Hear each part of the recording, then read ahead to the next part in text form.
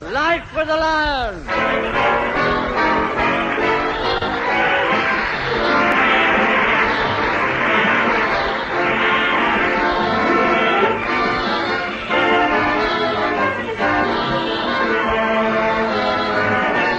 Once again, we'd like you to meet the Lyon family. I'm Richard Lyon. I'm Barbara Lyon. I'm Benjamin Lyon. And I'm Bebe Daniels Lyon.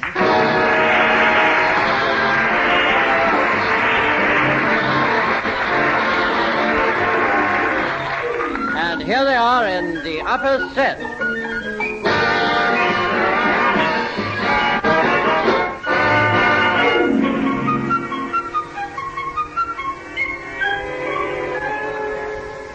Hey, Ma, is dinner ready? Almost. You better get washed. I already did. See my hands? Well, they don't look very clean to me. Did you use plenty of soap? Soap?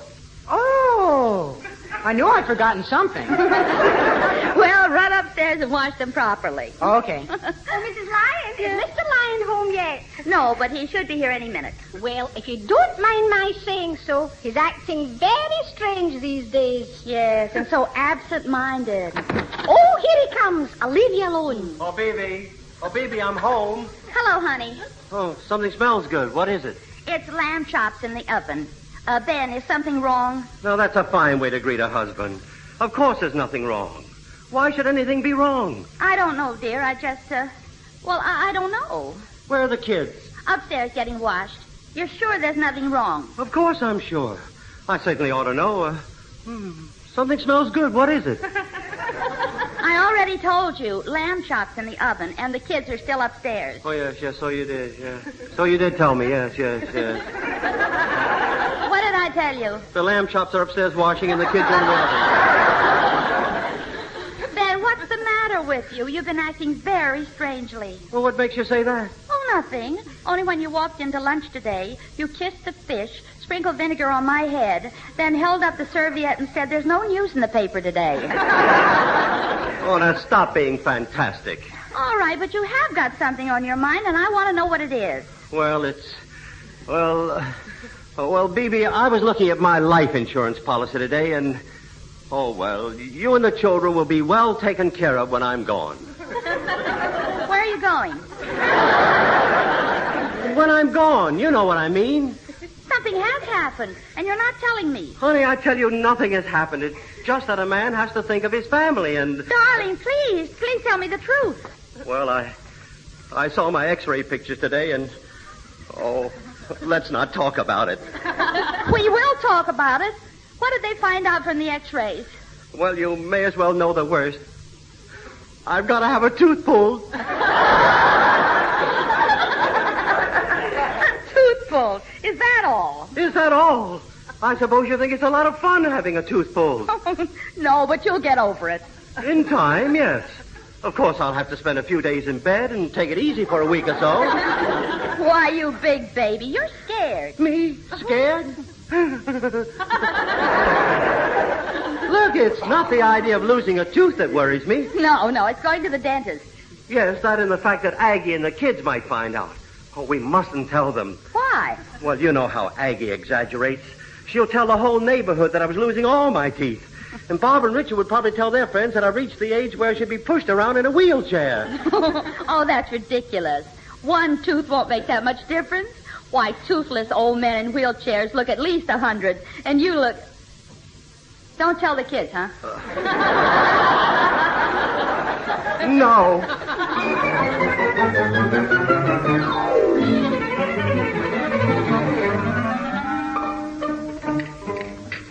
Nice dinner, wasn't it, dear? Yes, but I wish the kids would hurry back for the coffee. What's keeping them? Oh, Ben, snap out of that mood. You know, I think you'd feel better if you told the children that you're going to have your tooth pulled. I certainly will not. And I don't want to hear any more about teeth. Do you understand? All right. all Here's the right. coffee. And here's the milk. Thanks, kids. Say, Pop, after dinner, could you help me with my homework? Certainly not. You must do it on your own, son. Gee, I hate homework, especially math. It's like having a tooth pulled. Richard! What's the matter? Uh, well, dear, your, your father's a little tired. I'll help you with your homework. Is it uh, multiplication, division, or extraction? Huh? I mean subtraction. Oh, Daddy, what's wrong with you? it's my, uh, no, nothing's the matter. Uh, Barbara, hand me the coffee, dear. Oh, here you are, Mother. I met a girl at our tennis club today who knows where to get wonderful nylons. Now, there's a brilliant piece of conversation. You just don't understand, Daddy. Good nylons are as scarce as hen's teeth. Barbara, I, I... Now, dear, dear, calm down, calm down. All right, but please make them stop it. Stop what? Miss Barbara, you forgot to bring in the sugar, and you know what a sweet tooth your father has. oh, oh Mr. Lyon, what's the matter? Oh, he's a little depressed, that's all. Oh, then I'll cheer him up. He likes riddles, doesn't he? Oh, yes, he loves them. Good. Mr. Lyon, what's the difference between a lady buying buns and a dentist? No, no, no, Aggie, no. You don't know? Then I'll tell you. The lady thanks the baker, and the dentist yanks the acre. Stop it! Stop it! Stop it! Can't you all talk about anything but teeth? It's been teeth here, teeth there, and I'm sick of it, by gum. Oh, what am I saying? Oh, all right, all right, dear. Now, here's your coffee. Have a rinse out. I mean, have a drink, dear. Come in. That's not the door. That's Pop banging his head on the wall. Ben, stop it. We just had that wall painted. now, kids, you'd better help Aggie clean the table. Okay, but I don't. I, I still don't see what Pop's so upset about. I think I do. Come along, children. All right, Aggie. Now, honey, pull yourself together and stop acting like a baby. Oh, leave me alone. Aw, now that's no way to be. Come on now, smile. Show your little dimple. I, I will not. Aw. Come on, smile. Coochie, coochie, coochie, coochie.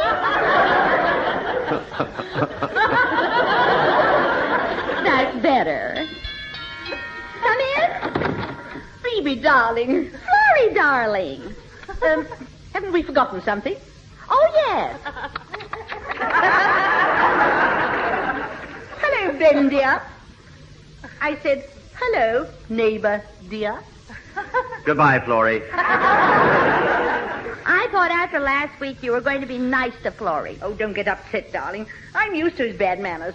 If he isn't being rude to me, he's making insulting remarks about my appearance. How can you say that? I like your appearance. You don't. But I do. I really do. Honestly? Honestly. Believe me, Florrie, when I look at you, I realize how beautiful, how fascinating, how lovely other women are. Ben. Oh, I might have expected that. Oh, I love to kid you, Florrie. Furthermore, if you flatter people, it goes to their heads. Well, it certainly went to yours. You're flatter on the head than you are around the middle. Now you're being rude. Well, he started it as usual. Well, you should forgive him today. The poor darling's worried because he has to have a toothy pulled. He's eaten hardly anything since yesterday. Baby, you promised not to tell anybody. Oh, that is too bad. But you shouldn't let it stop you from eating, Ben. Insufficient food leads to malnutrition. And you know how you'll end up? You mean too thin? No, tooth out. I've had enough. I'm going upstairs, and don't either of you tell a, tell a soul about my tooth, you hear? Why are men such babies? I don't know. I guess it's because they were born that way.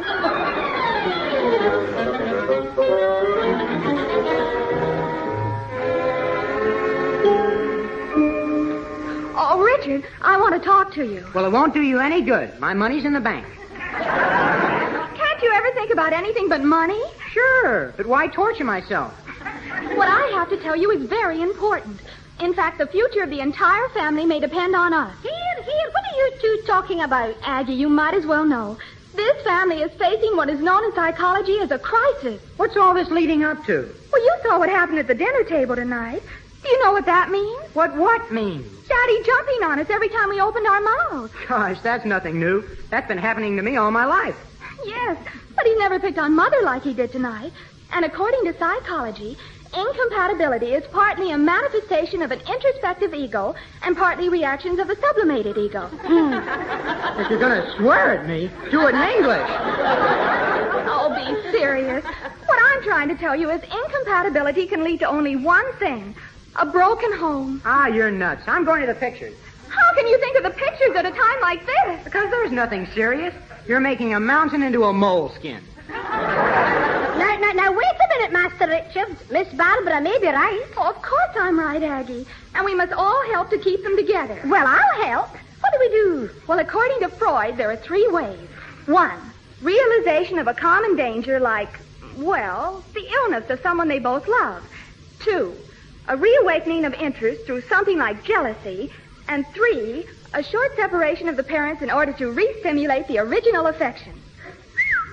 Holy cat. How are we supposed to know which of the three is the best? Yes, how? We don't have to know. We'll try all three. Now, first of all, one of us will have to pretend to be ill. Good. Who'll we use as a guinea pig? Well, Will everybody stop looking at me?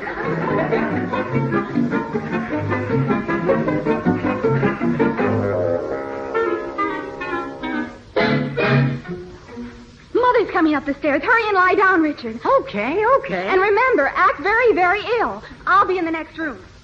Help me! Help me! I'm fading fast. Oh! Oh! Oh!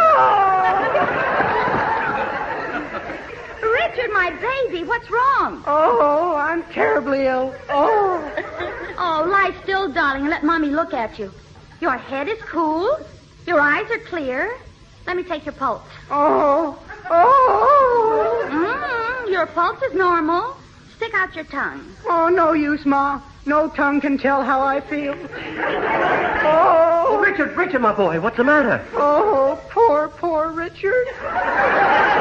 Well, where does it hurt, son? Well, I hurt upstairs this morning, then I hurt in the dining room all through breakfast, and now I hurt right here on this sofa. No, no, I mean, where's the pain? Oh, it's in my stomach, my head, and it's and it's in my knee too. I'll get the doctor. Oh no, Pop, don't get a doctor. Why not? Oh, I'm too sick to see a doctor. Listen, Richard, your stomach, your head, and your knee can't all ache at the same time. Now make up your mind. Which is it? Well, it's my stomach. Oh, that's it. It's my poor stomach. Oh, Bebe, how can you stand there and argue with a poor child? Can't you see he's ill? Yes. Hand me that large bottle of castor oil. Castor oil. Yes, it's very good for stomach ache. Oh, my head. Oh. Oh, my poor head.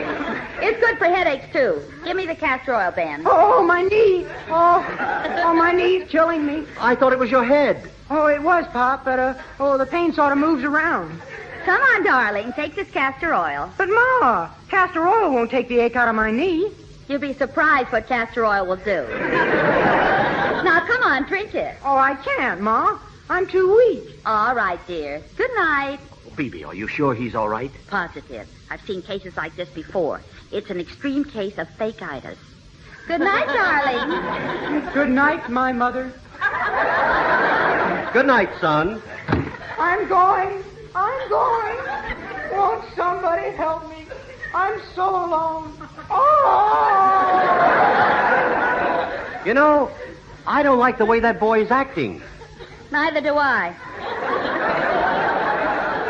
I must get him a better dramatic teacher. Oh, Bebe.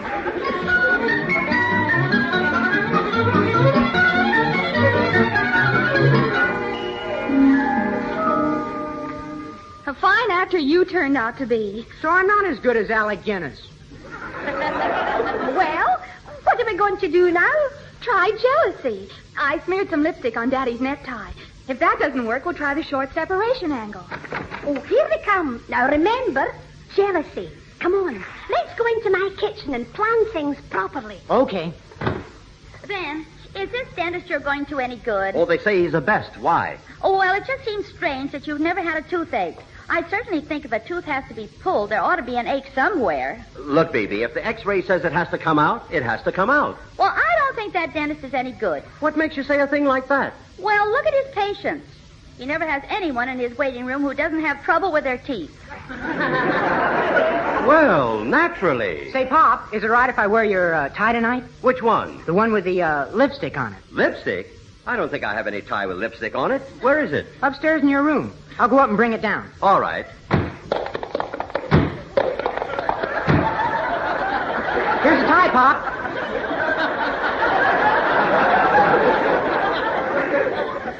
Well, you could have hurried. I'm sorry, uh, the stairs get in my way. Well, remind me to have them removed. Now, let's see the tie. Hmm. Certainly looks like lipstick, doesn't it? Yeah. I wonder where you got it. Don't you, Ma? No. With Quit bothering me around. It's a wonder your father isn't covered with lipstick. I'll send the tie to the cleaners in the morning. Oh, here's your tea, Mrs. Lyon. Uh, thank you, Aggie. Say, Ma, Yes, dear. you know what the milkman told me today? He said he thinks you're gorgeous. Well, isn't that nice? Hey, maybe I better look into this. Oh, you don't have to worry, Mr. Lyon. He's old. I'll bet he's almost 30. Well, uh, I guess there's nothing to worry about then. No, uh, he's only in love with Ma in a serious sort of way. oh, he is, is he? Well, what about me? No, he's just in love with Ma. Aye, that's right. You know what happened yesterday, Pop? I hope you won't get too upset, but he carried Ma's groceries into the house. So what? You're pretty jealous, huh? Of course not. Well, I'll bet you'll make Ma stay upstairs next time he delivers the milk, huh?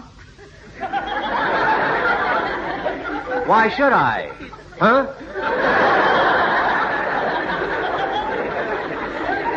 Well, he's, he's very good looking, isn't he, Mrs. Lyon? Yes, he is handsome. But you know something? When he delivered the milk yesterday, he reminded me of you, Ben. Really? Yes. He said, How's Ben?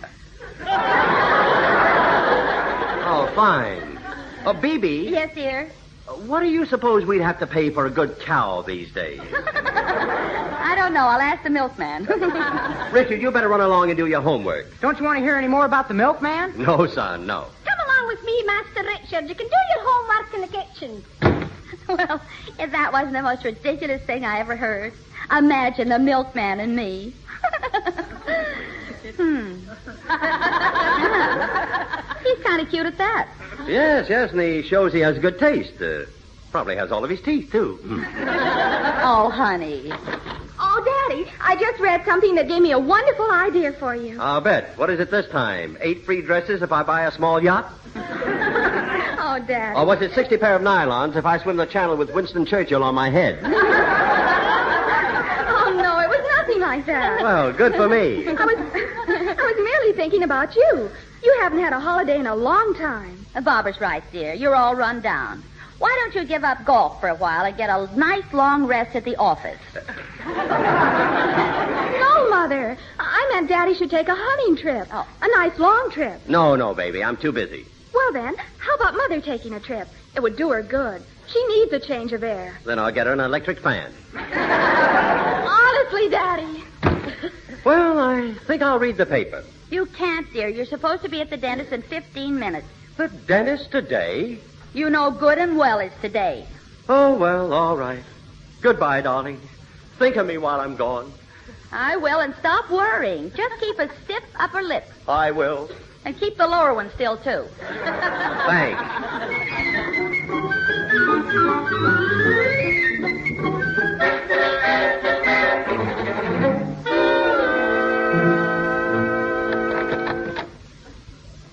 Good afternoon, Mr. Lyon. Come straight into the waiting room. Oh, is, uh, is the uh, dentist in? Yes.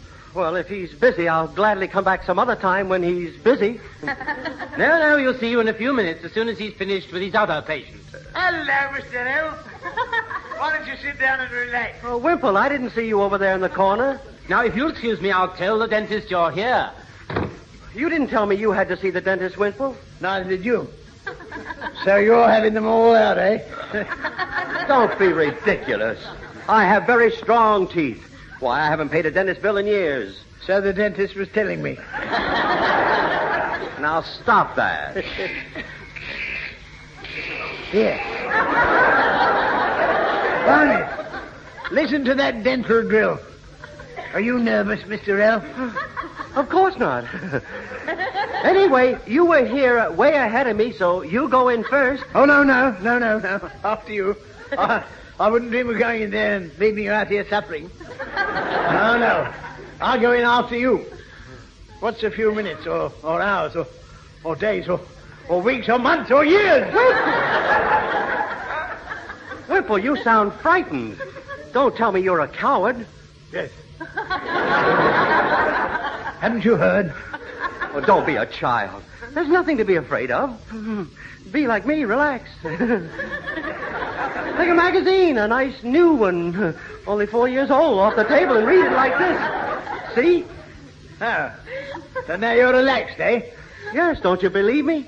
Yes, except for one thing. What's that? Magazine's upside down. Oh, And furthermore, it's not a magazine. It's a briefcase. well, that's a that's a natural mistake. Now the the important thing is not to be frightened. Yes, that's right.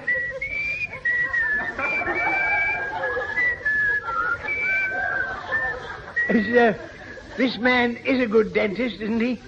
I mean, he's careful. Oh yes, yes, they say he doesn't hurt at all. So there's really nothing to get worried about. He's gentle and considerate. Why, all of his patients go around saying.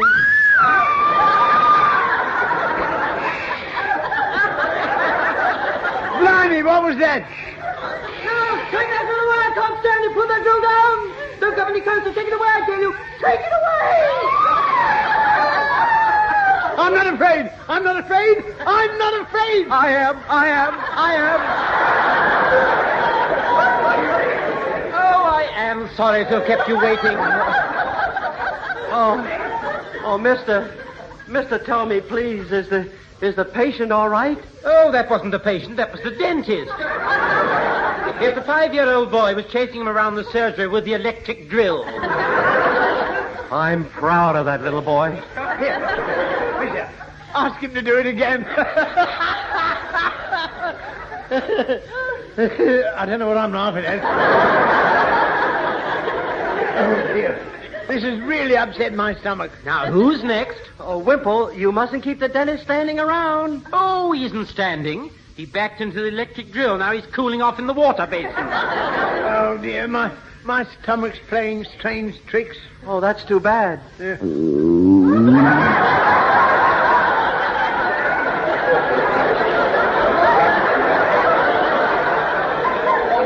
Wimple, that uh, that water basin's certainly making a funny sound. That isn't the basin, Mr. L. That's my stomach. Well, let's go in and get the poor dentist out of that basin. Wimple, your tummy is really upset. Oh, that wasn't Mr. Wimple. The dentist is now standing again. Oh, oh, good. By the sound of it, he's back in the basin. No, that was my stomach. The dentist will be ready for you in a few minutes.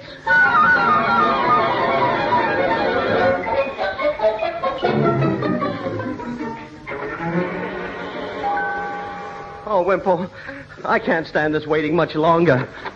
Ah, Mr. Lyon, there we are. Have you an appointment card? Oh, oh yes, yes, here it is. Uh, appointment at 2.30 with dental practitioners Painless, Drillis, and Phyllis. That's right. Painless and Drillis are my partners. I'm Phyllis.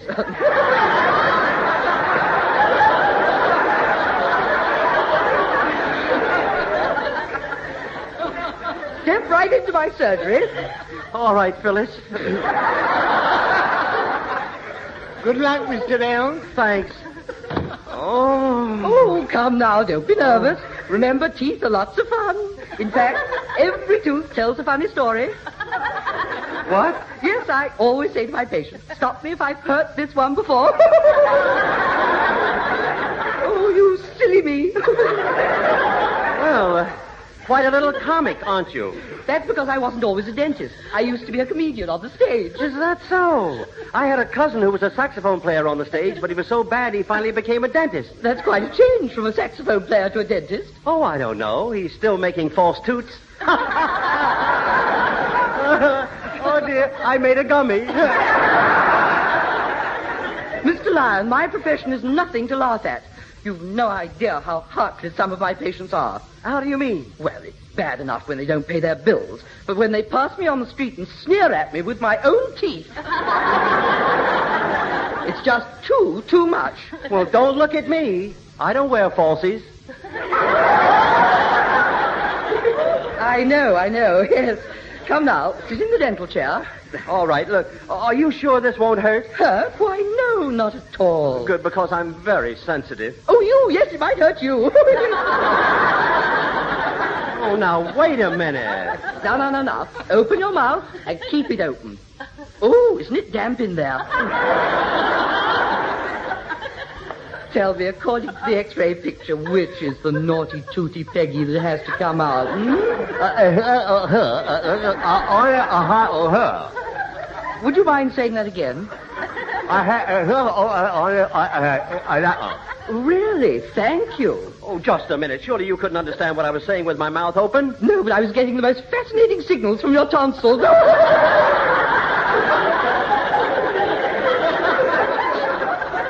oh, you, you silly, silly me. Now, look, never mind the jokes. Just concentrate on my teeth. Don't worry, I found one that needs filling. But first I have to scrape it a little. Mouth open again, please. Oh, I hate that scraping sound. Open, please. There. Isn't that a quiet, peaceful noise? Now for a little more scraping. But it doesn't sound quiet to me. To me, it sounds like. Open, please. That's it. That's the noise. What noise? I didn't hear anything. Now I'll start the drilling. Open, please.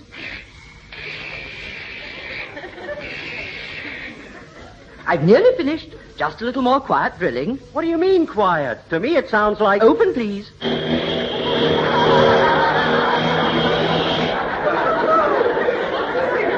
That's it. That's the noise. Well, now you can relax. The drilling's finished. Now I'll just put the filling in. What would you like? Lemon, strawberry, or vanilla? Now, stop that. That's just what I'm doing. I will have my little joke.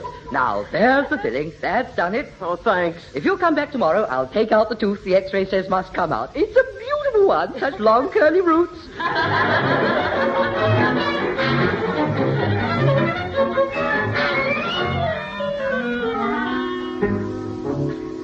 Oh, hello, baby. I'm glad you're back. Mother wants you to fix the tap in the kitchen. A fine thing. I come home feeling ill, and she wants me to work. I don't get any sympathy from her any these days. Daddy, Richard and I have been talking about you and Mother. We want you both to make up before this whole thing goes too far. Too far? What are you talking about? Oh, please listen. Try to imagine what it would be like to lose your dearest treasure. All these years you've carried before you a vision of that dear, sweet face you loved so much. What would happen if that vision suddenly shattered? I'd just have to buy myself another mirror. I'm talking about Mother. Talking about me? Who's talking about me? Well, I am Mother. You and Daddy have been drifting apart. What? Yes. That's why we made up all that stuff about the trips and Richard being sick and the milkman. Oh, so that's what it was all about. oh, look, baby, you don't have to worry about us. I've been upset on account of my tooth. You mean you're still in love with each other? Of course, darling. Oh, baby, I'm sorry if I've been irritable the last few days. Oh, that's all right, dear. I guess we've both been pretty silly. Ridiculous is more the word. I hope you didn't think I was really jealous of the milkman. Oh, I knew you weren't. As far as I'm concerned, the milkman can call as many times as he likes. Oh, Mr. Lyon, where do you want me to put this cow? Ben Lyon. well, I, I was in the dairy, and I just couldn't go out without buying something. Hey, Pop, your dentist just rang up about your x-ray photos. oh, please, son, don't remind me. I want to forget about it until tomorrow. You can forget about it for good. You see, the dentist got your x-rays mixed up with somebody else's. What? That's right. You don't have to have your tooth pulled. It's somebody else. No kidding. Who is it? Mr. Wimple. Oh, poor Wimple. Oh, boy, will he suffer.